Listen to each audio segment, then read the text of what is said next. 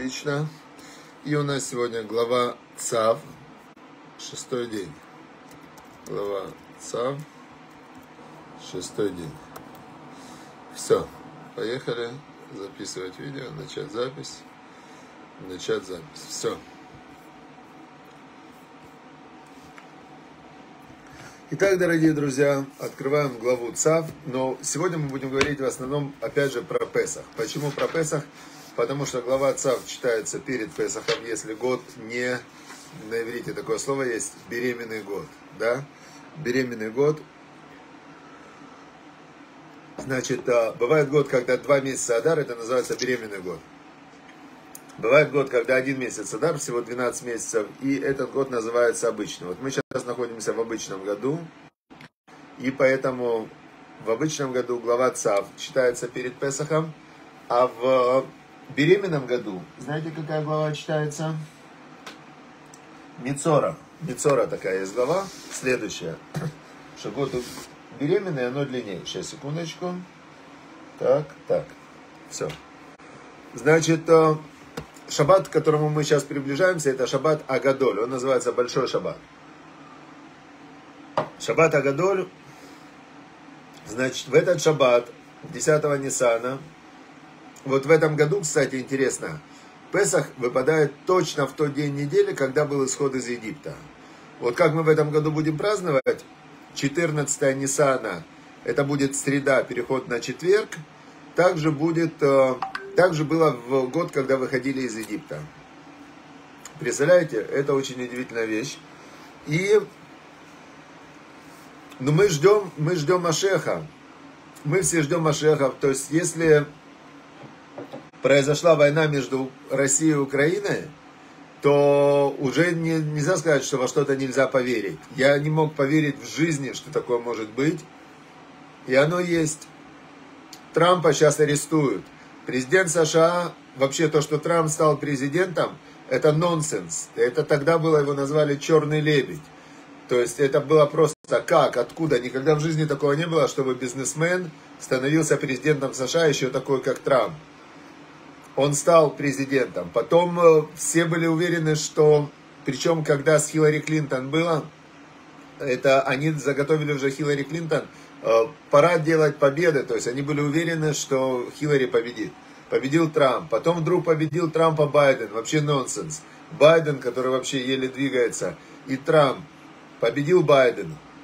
Теперь Трампа садят в тюрьму. Как? Его не садят в тюрьму, но его сейчас арестовывают на этой неделе.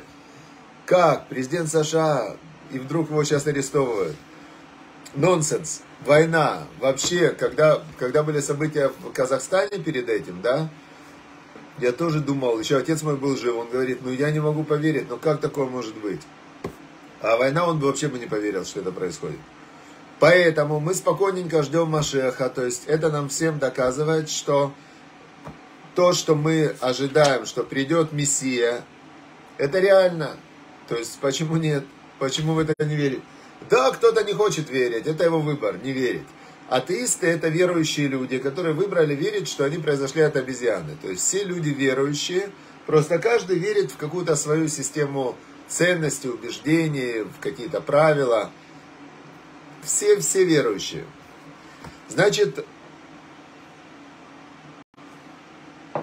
я верю, что написано в Талмуде, в устной Торе сказано, что как в Нисане, Нисан это месяц, вот сейчас, который идет месяц Нисан, как в Нисане были освобождены, да, там используется слово, также в Нисане придет следующее избавление. Значит, мы сейчас находимся 10 Ниссана. Мы ждем, конкретно ждем, когда же, когда же придет Избавитель, Агоэль, да, Избавитель и избавит нас от чего? От чего мы должны избавиться? Мы должны избавиться от зла, которое есть в каждом из нас. И мы должны избавиться от зла, которое, получается, есть э, снаружи. То есть в каждом из нас есть зло. И Наружу есть зло. Смотрите, в этой недельной главе, как раз последний сегодняшний отрывок, рассказывается, вот такой текст идет, да? Что Маше Рабейну 7 дней, 7 дней он приносил жертвоприношения, чтобы ввести Аарона и его сыновей в должность священник, первосвященник и коины, да, священник. И вот, значит, Моше взял там жертву специальную. Жертва, на русский переводят это название, жертва уполномочения. То есть это жертва, которая их вводила. И, значит, э, в общем, эту жертву он переносил 7 дней. Сказал Моше Аарон его сыновьям, варите мясо у входа в шатер собрания, и там ешьте его с хлебом, что в корзине жертву полномочения, как мне было велено. И, значит, все остальное сжигайте на огне. И так он делал в днем и ночью. Вы должны оставаться у входа в шатер собрания 7 дней. И соблюдать назначение Бога, чтобы вы не умерли, ибо так велено мне. И Аарон и его сыновья поступили в соответствии со всеми словами, которые Бог повелел через Маше. Здесь э, очень интересно, как бы вот все увидеть в целом, картину увидеть в целом.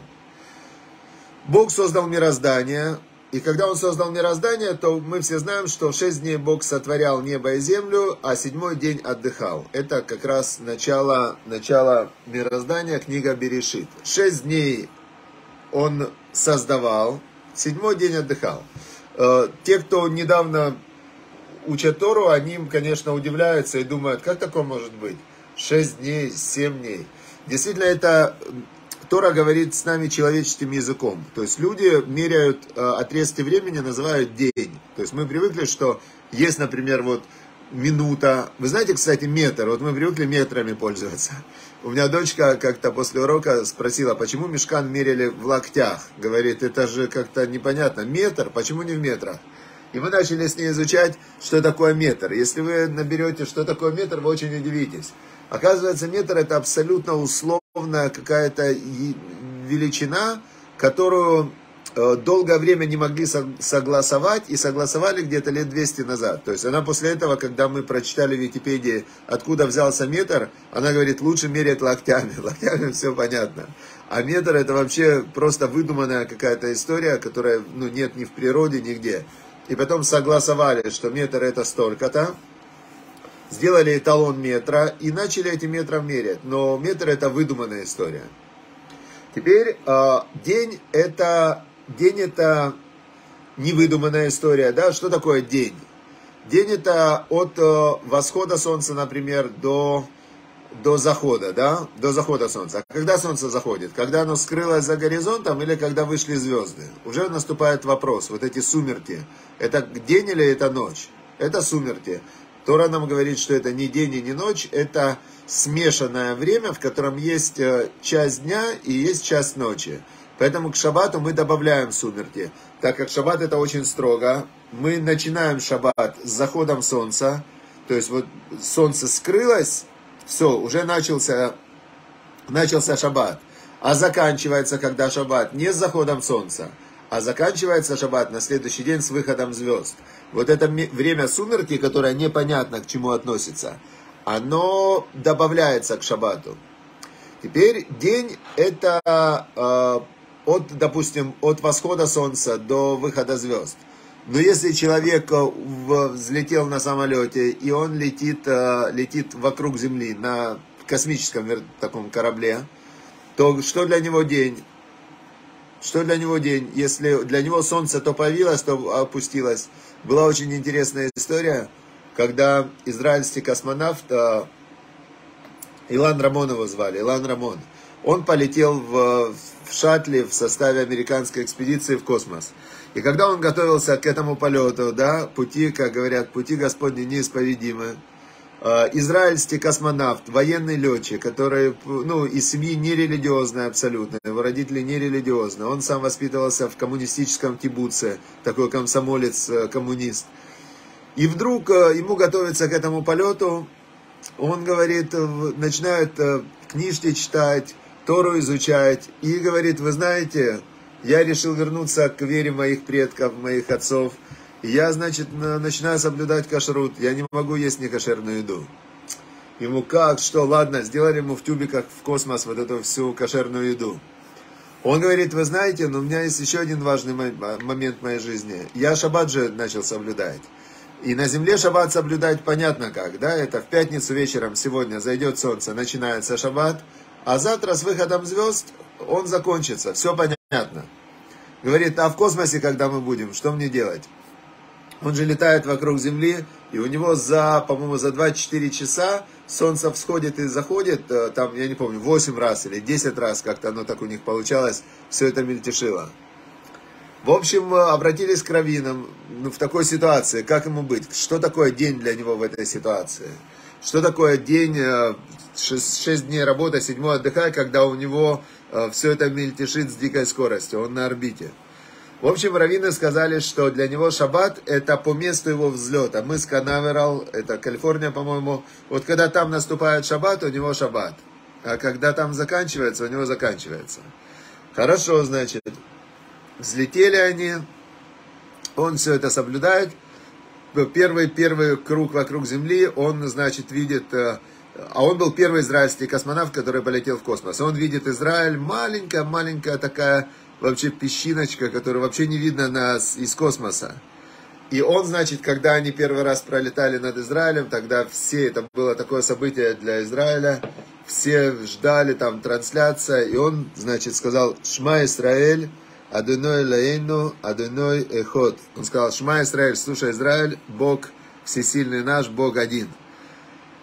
И значит, что он, это вообще, это был такое, это называется слово кидуш Ашем. Кидуш Ашем это освящение имени Всевышнего. То есть это такое было просто вообще чудо.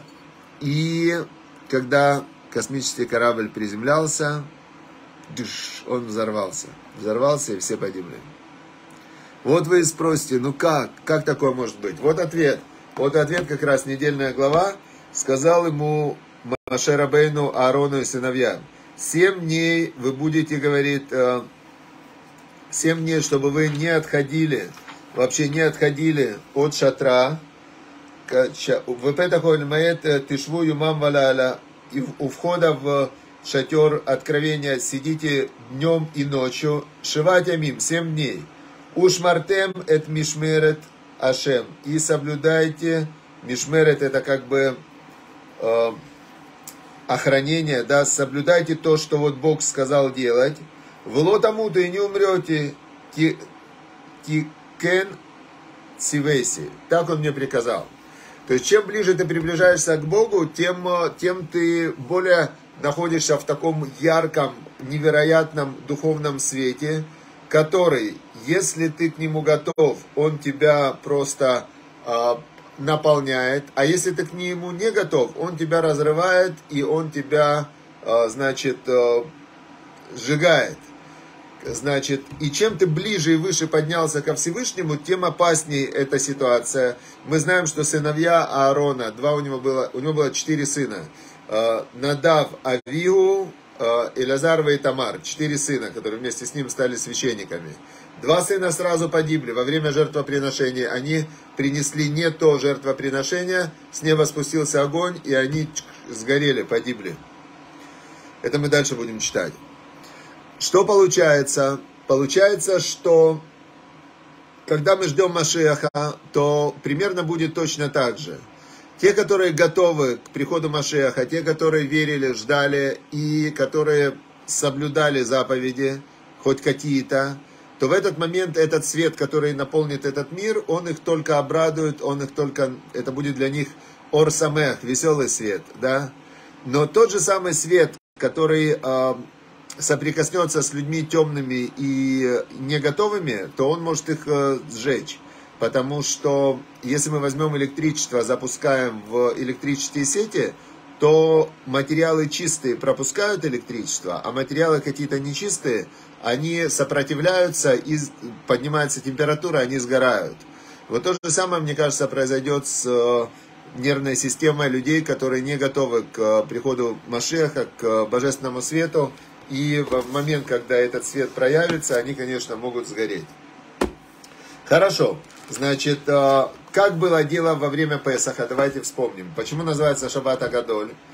Шаббат Агадоль называется Великий Шаббат, этот, который происходит. Значит, за четыре дня до исхода из Египта, до Песаха, Бог сказал э, евреям, чтобы они взяли ягнят и привязали себе этих ягнят в домах, э, привязали их к кроватям.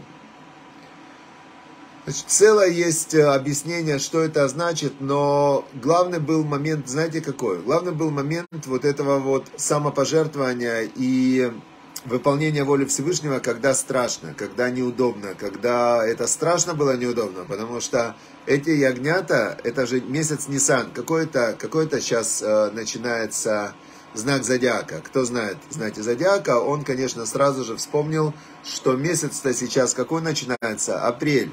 А месяц апрель, как раз до 22 апреля, это какой знак зодиака? Правильно, Овен. Овен это ягненок.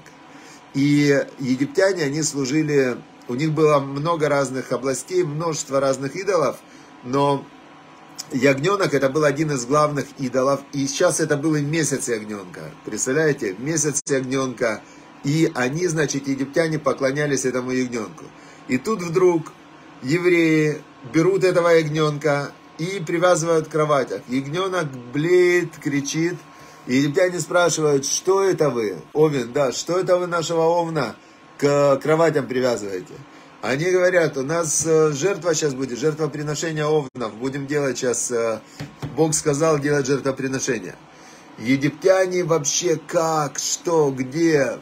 То есть это было очень страшно. Править это, это было невероятно страшно вообще как.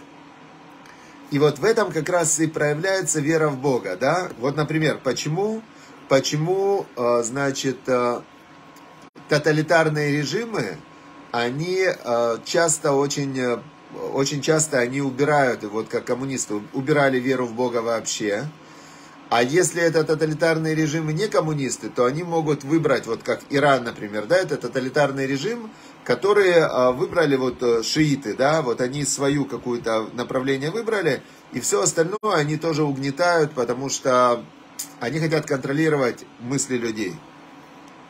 И вот, значит, э, они в то время выступили против идолов. Это то же самое, что сейчас бы, например, в России не один-два человека вышли, а вышли бы, например, там миллион человек на улице и сказали бы, мы, значит, против войны. Мы не хотим умирать за то, чтобы захватывать какую-то соседнюю страну, которая нам не нужна. Россия самая большая страна в мире, одна из самых богатых. Нам достаточно, нам не нужна никакая Украина. И пускай, значит, если они себе хотят там, пусть что хотят, то и делают. Почему нет? Но страшно, потому что запугали людей, люди не могут выйти на улицы. Я уверен, что так думают в России не миллионы, не два, а я думаю, что из 120 миллионов думает, что эта война не нужна, но 50 миллионов точно. Но страшно, очень страшно выйти и сказать. А почему страшно? Потому что верят они, что милиция управляет их жизнями, а не Всевышний. А когда человек верит в Бога по-настоящему, он говорит, Всевышний, ты управляешь миром, я верю в тебя, я против войны. Не хочу, чтобы убивали людей, не хочу, чтобы умирали люди просто так. Война же это гонят людей. Представьте, сотни тысяч людей сейчас гонят, чтобы они убивали, и их могут убить. Они не хотят, никто не хочет умирать. Нету причины идти в Украину и воевать за что? За территорию, у России полно территории. За национализм в украинской Верховной Раде не было ни одной националистической партии, ни одной. Они не прошли даже однопроцентного, двухпроцентного барьера. То есть были слуга народа, ну то есть я жил в Украине, ничего там не было.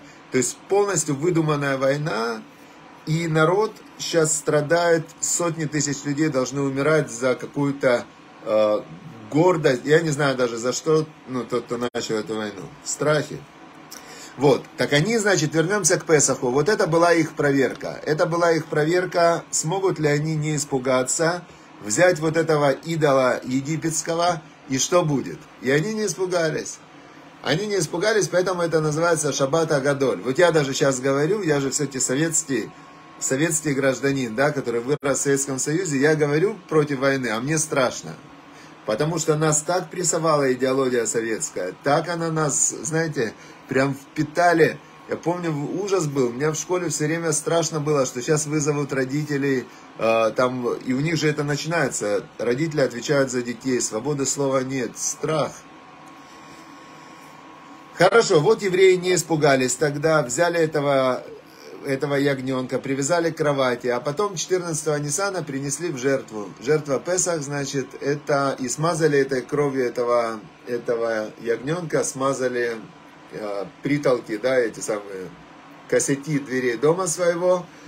И Всевышний, значит, в это время, когда была казнь первенцев, он перескакивал через дома евреев, и они остались живы. Это очень интересная вещь такая, да? Очень интересная вещь, как э, человеку действительно страшно отпустить свою веру, что все зависит от него самого, что контроль, я должен контролировать свою жизнь, я должен, я должен, я должен, и положиться на Всевышнего, сказать, что Всевышний, все от тебя, все от тебя, от меня моя вера в тебя. То есть я выполняю то, что ты мне сказал делать, и Всевышний, он же от нас ничего плохого не хочет, да, он хочет, чтобы мы работали, женились, выполняли честно свою работу, не делали зла, рожали детей, э, воспитывали их э, добрыми, честными, и все, вот что хочет от нас Всевышний. То есть он же не хочет от нас ничего плохого. А жертвоприношение, это называется курбан. Курбан это на иврите от слова ликарев приблизить.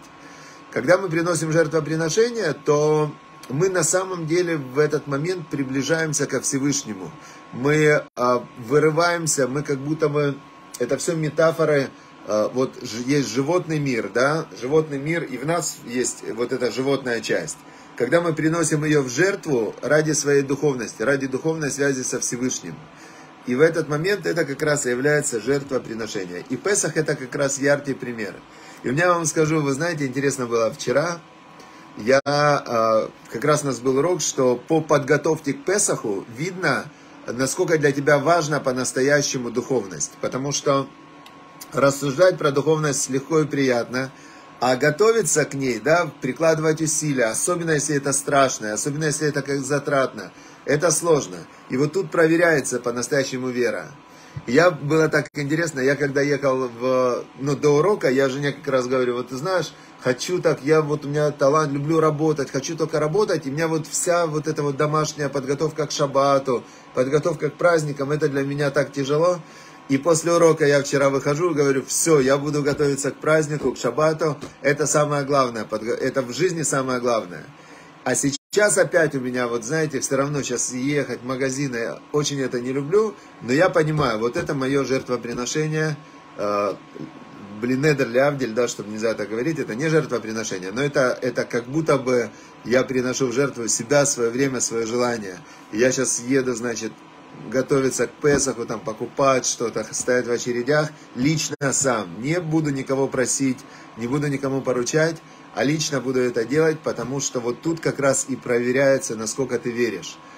Сделай действие, которое противоречит твоей природе, и это называется мысирут нефеш, это называется самоотдача, это называется принести свою животную душу в жертву, и приблизиться к Всевышнему. И Всевышний, конечно, э, он э, специально это сделал, чтобы мы зарабатывали для себя вот эту вот вечную награду и чувствовали радость.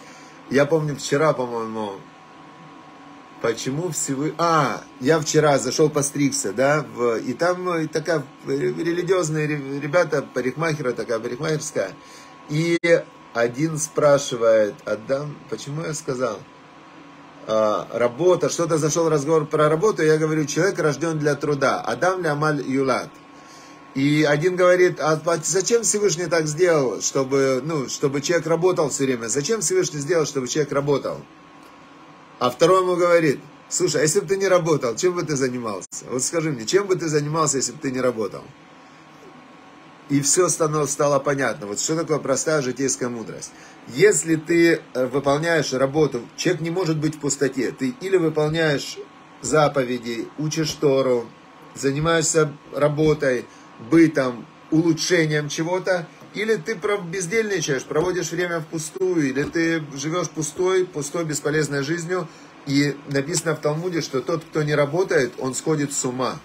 То есть женщина, даже написано, если у тебя жена даже самая, ты богатая и все, она должна заниматься домашней работой. Если она не будет заниматься домашней работой, она сойдет с ума. Так написано в Талмуде, в трактате Ктубот. И это правильно. Человек, который бездельник, который ничем не занимается, он просто сходит с ума. Поэтому все, сейчас за работу, готовимся к шабату, учим Тору, выполняем заповеди, готовимся к Песаху, убираем дом, выкидываем все лишнее – начинаем новый этап в жизни, Шаббат Агадоль, это великий шаббат, когда мы должны э, зарезать всех своих идолов, принести этих всех идолов в жертву, убрать их, да, не в жертву их, а разрушить. И следующая вся неделя посвящена подготовке к Песаху. И, значит, в среду вечером пасхальная года и освобождение. Четыре бокала вина, четыре стадии освобождения. Читаем пасхальную Агаду. Мы вам тоже пришлем, э, как готовиться к Песаху. Да, давайте попросим э, Яков Шатадин. Обычно Равпинхас Вышецкий делает отличные, самые лучшие. Он делает такие пошаговые гайды, как надо готовиться. И пасхальная года тоже надо скачайте, распечатайте, купите, зайдите в синагоге, чтобы прочитать вот это вот время исхода из Египта. Все, всем счастливо, шаббат шалом, удачи, успехов, всего хорошего, чтобы Всевышний услышал ваши молитвы, чтобы, как говорится, чтобы Бог и мале коль мишелот лебеха летоватеха, чтобы Бог заполнил, выполнил все запросы твоего сердца для твоего добра. Удачи!